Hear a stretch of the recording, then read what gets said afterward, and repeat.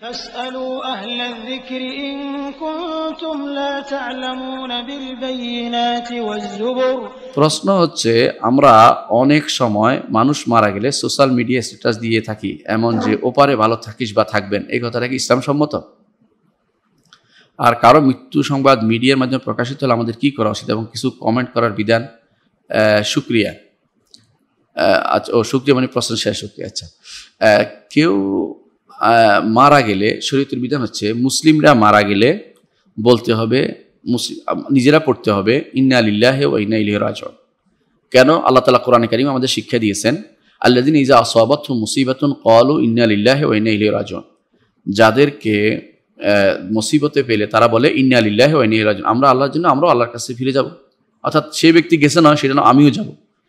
সুতরাং মৃত্যু একটি মুসিবত। কারণ আল্লাহ তালা কোরআন কালামে অন্য আয়তে বলেছেন, ফা আসবাত মুসিবাতুল মৌতি মৃত্যুর মুসিবত তোমাদের কাউকে পেয়ে বসেছে। এর অর্থ মৃত্যু একটি মুসিবত। তাই মৃত্যু এই মুসিবতটি কারও উপরে যদি আপতিত হয়, তাহলে আপনি দেখছেন আপনার ভাই মুসলিম ভাই, তখন আপনি ইন্না লিল্লাহ ইন্না রাজন বলবেন এবং বলবেন, ইন্না লিল্লাহ মা আখাজা ও আলাহুমা আলাহুমা আতা। তিনি যা নেবার তা নিয়েছেন, যা বাকি রাখার তা রেখেছেন, তো তুমি যেন সবর করো এবং তুমি যেন ধৈর্য ধারণ করো। তাকে বলবেন, ধৈর্য ধারণ করো, তুমি যেন সবর আশা করো। রসুল্লাহ আসলাম তার কন্যার কন্যার একটি সন্তান মারা যাওয়ার পরে রসুল্লাহ আসলাম তাকে শিক্ষা দিয়েছেন, কি বলতে? ওয়াল, ফাল ফাল তাহ ফাল তাসবির, ওয়াল তাহ তাসিব রসুল আসলাম বলেছেন যে আল্লাহ যা নিবার নিয়েছেন, যা রাখার রেখেছেন সেই জন্য সবর করে এবং সেই জন্য সবের আশা করে।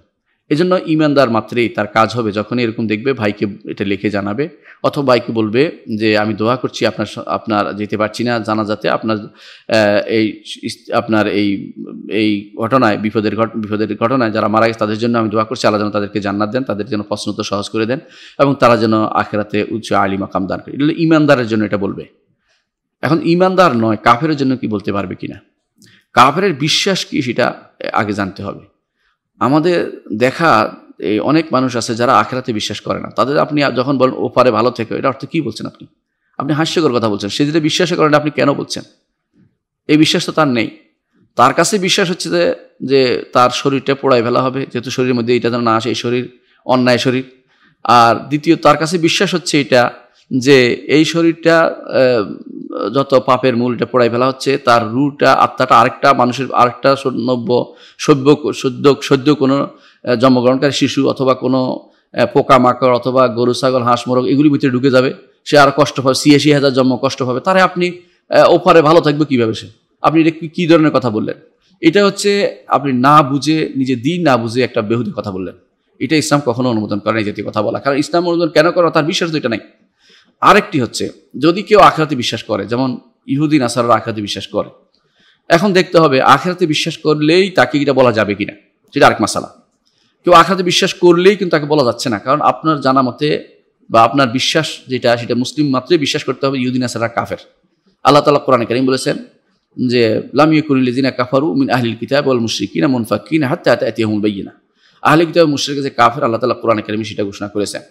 এই জন্য এরা, এরাও কাফের। তো কাফেরকে আপনি দোয়া করতে পারেন না। কাফের জন্য আপনি দুনিয়ার দোয়া করতে পারবেন, হেদায়তের দোয়া করতে পারবেন। দুনিয়ার সে তো মরে গেছে, এখন তার দোয়ার কিছু নেই। এই জন্য তার জন্য আপনার কোনো দোয়া নেই। বরং আপনি দুনিয়ায় থাকতে তাকে বলতে পারতেন যে, আল্লাহ তোমাকে সম্পদশালী করুক, দুনিয়াতে বিপদে পড়ুক, যাতে সম্পদ হলে আল্লাহ তালা কোরআন কারিম বলেছেন, সম্পদের দোয়া করতে নিষেধ নাই, কারণ সম্পদ দোয়া তো, সম্পদ তো ইমানদার কাফের সবাই পেতে পারে। অথবা তার জন্য হেদায়তের দোয়া করবে। কিন্তু তার জন্য আপনি কখনো মাঘ ফেরাত ক্ষমার দোয়া করতে পারবেন না। এই জন্য আপনি ওখানে ভালো থাকা অর্থ হচ্ছে ক্ষমার দোয়া করছেন। এটা করা যায় নেই। এই জন্য রহমতের দোয়া করতে পারবেন না। তারপর তার জন্য রহমত হোক তার আখেরাতে ভালো থাকবে, তার জন্য আজাব হবে না। এরকম দোয়া করা আপনি করতে পারবেন না এবং তার জানাজাতে হাজির হতে পারবেন না। তার জানাজাতে হাজির হতে পারবেন না। আজ যেটা অনেক মানুষে হাজির হয়, বাধ্যতামূলক যাবেন না। আপনার সন্দেহ থাকলে যাবেন না। রসুল্লাহ সাল্লাহ আসলাম যেখানে দুনিয়ার মানুষের হক ইমানদার, কিন্তু হক রাখে হক রাখার কারণে আরেকজন হক নিজের কাছে রেখে দেওয়ার কারণে জানাজা পড়তেন না প্রথম প্রথম। পরে পড়েছেন। তাহলে বোঝা গেল যে আপনি যেখানে ইমানদার নয়, সেখানে আপনি যেতে পারেন না। আল্লাহ তালা কোরআনে কারিম ঘোষণা করেছেন ওলা তাকুম আলা কাবরি ইন্নাম কাফারু বিল্লাহে ওয়া রাসূলিহি। তাদের কবরের পাশে আপনি দাঁড়াবেন না, অর্থাৎ সালাতের জন্য দাঁড়াবেন না। ওলা তুসাল্লি আলা আহাদি মিনহুম মাত আবাদান। কাফের, মুনাফেক যারা আছে, তাদের লা তুসাল্লি আলা আহাদি মিনহুম, তাদের জন্য কোনো, আপনি কোনো দোয়া করবেন না, কোনো সালাত আদায় করবেন না। ওলা তাকুম আলা কাবরি, কবরের কাছে দাঁড়িয়ে তাদের জন্য মাগফিরাত ক্ষমা চাইবেন না। এখন বলছেন যে তাদের জন্য কি করা যেতে পারে?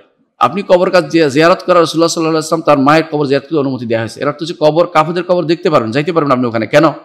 আপনি দেখেন রসুল্লাহ সাল্লাহ ইসলাম মদিনাবাসীদের কবর বাকি ছিল, সেখানে তিনি গিয়েছেন। সেখানে বেশিরভাগ মানুষ তখন মারা যায়নি, অর্থাৎ ইমানদার লোকদের কবরস্থান ছিল। আগে এটা মদিনাবাসীদের কবর ছিল, তারা ইমানদারও ছিল না। কেন? সেখানে গেলে কেন? তাদের জন্য দোয়া নয়। কাফেররা হলে তাদের জন্য দোয়া করা যাবে না। তাদের জন্য করতে হবে, তাদের থেকে এই ব্রত শিক্ষা নিতে হবে যে কাফেররা দুনিয়াতে তুমি কত কত দম্ভ ভরে চলেছ। এখন তুমি মাটির নিচে পড়ে আছো, উঠতে পারছ না। এরকম অনেক মানুষই দুনিয়াতে দম্ভ ভরে চলবে, অহংকার করবে, তারাও এরকম কবর নিচে চলে যাবে। অর্থাৎ শিক্ষা নেওয়ার জন্য। রিবরা রিবরা নেওয়ার জন্য, শিক্ষা নেওয়ার জন্য শুধুমাত্র সেখানে যাওয়া যাবে, কিন্তু কোনো দোয়ার জন্য যাওয়া যাবে না, এবং কবর জিয়ারত তাদের কবর, সেই জন্য কবর, দোয়ার জন্য কবর জিয়ারত করা যাবে না। এটা হচ্ছে ইসলামিক বিধান। আশা করি বুঝতে পারছেন, এই যে রিফ অনেকে লেখে রেস্ট ইন, প্যারাডাইস, অথবা এই জাতীয় কথা নাউজুবিল্লা এই জাতীয় কথা লেখা কিন্তু জায়েজ নেই। কারণ আপনি উপরে ভালো থাকবেন এটা কিন্তু আপনি বলতে পারেন না। কারণ সেখানে তো আপনি তাকে জানাতে ব্যবস্থা, দোয়া করছেন এটা করা যাবে না। অর্থাৎ ইমানদার ছাড়া কারোর জন্য এই জাতীয় দোয়া করা যায় না আপনি জানেন যে সে ইমানদার, তার জন্য দোয়া করবেন। আর যদি কারও ব্যাপারে আপনার সন্দেহ থাকে, ইমানদার নাকি কাফের বলা যায় না, কারণ তার সারা জীবন যা করেছে, তা ইমানের সাথে কোনোভাবেই মিলে না। এবং সে তবা করেছে, আপনার কাছে কোনো প্রমাণ নেই। তাহলে আপনি কিচ্ছু বলবেন না, চুপ থাকবেন। কারণ হতে পারে সে ইমান এনেছে, তবা করেছে, আপনি জানেন না, তখন আপনি তার বদয়া করলে খারাপ হবে। আর যদি আপনি জানেন যে ইমান আনে- নাই সে তখন আপনারটা কাজে লাগবে। কিন্তু আপনি তো ভুলে যেন না পড়েন এই জন্য আপনি সেখানে কিছুই করবেন না, চুপ থাকবেন, কিছুই করবেন না, অর্থাৎ বলবেন না যে এই হয়েছে, সে হয়েছে। আমরা আজ দেখি অনেকেই, কোনো কারণে কেউ মারা গেলে তার জন্য একেবারে কাঁদো কাঁদো এটা ওইটা ওইটা। আপনার যদি সত্যিকার অর্থে সে ইমানের সাথে মারা গেছে, তার জন্য অবশ্যই ইমানদার ভাই, তার ভাই এবং তার মুসিবত, এই জন্য সে তার জন্য দোয়া করবে, তার জন্য আল্লাহর কাছে ফরিয়াদ করবে, চাইবে, তার ক্ষমা প্রার্থনা করবে, জান্নাত চাইবে, সব করবে। ইমানদার না হলে তার জন্য কিছুই করার নেই এবং কিছুই করবে না। বরং ইমানদার না হলে তার থেকে সম্পূর্ণরূপে মুক্ত থাকবে। যদি কাফের সরাসরি জানা যায়, আর যে কাফের যদি জানা না যায়, তাহলে সে চুপ থাকবে, কিছুই করবে না। কারণ সে জানে না যে তার আসলে শেষ মুহূর্ত পর্যন্ত তবা করেছিল কি না এ বিষয়ের মধ্যে আমাদের সীমাবদ্ধ থাকতে হবে। আশা করি বিষয়টা বুঝতে পারছেন। আর এখানে প্রশ্ন করছেন যে কমেন্ট মিডিয়াতে প্রকাশিত হলো হলে অন্যদের কি করা উচিত?